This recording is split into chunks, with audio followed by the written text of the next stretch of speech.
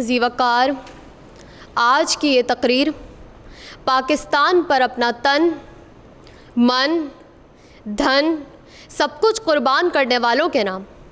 आज की ये तकरीर कारगिल की चोटियों पर ठंड से ठिठरते, लेकिन वतन की हिफाजत करने वालों के नाम।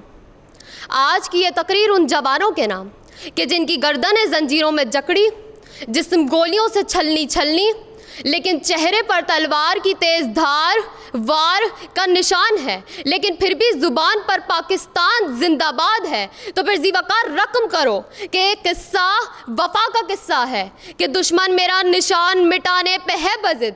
लेकिन सिना की नोक पे सर छोड़ जाऊँगा, लश्कर करेंगे मेरी दिलेरी पे तबसरे। मरकर भी ज़िंदगी की खबर छोड़ जाऊँगा।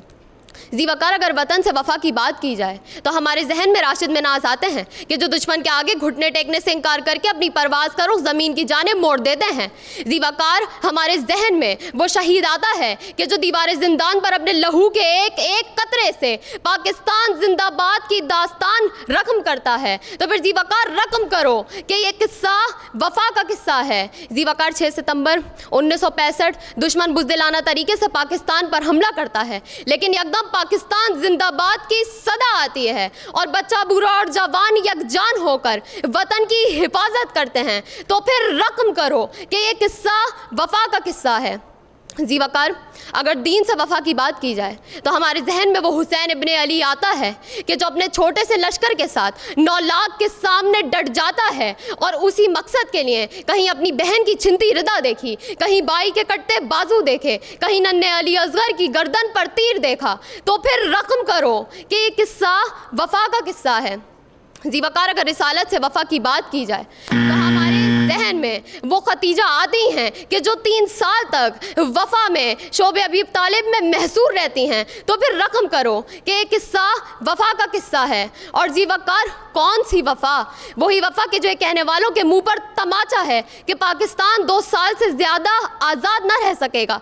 और जीवाकार इसी तरह से रकम करते जाइए, क्योंकि ताक़यामत हम वफा निभाते जाएँगे, क्योंकि ये दीन, ये नबी, ये खाक वतन है जा अपनी।